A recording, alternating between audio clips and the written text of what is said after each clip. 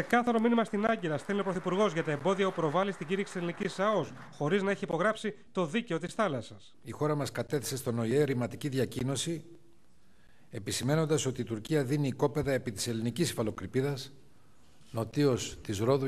Η Άγκυρα απάντησε ότι διαφωνεί με αυτή μας τη θέση και επικαλείται επίσης το διεθνές δίκαιο της θάλασσας.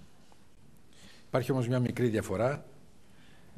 Εμείς το επικαλούμαστε το διεθνές δίκαιο ενώ το έχουμε υπογράψει. Ενώ η απέναντι πλευρά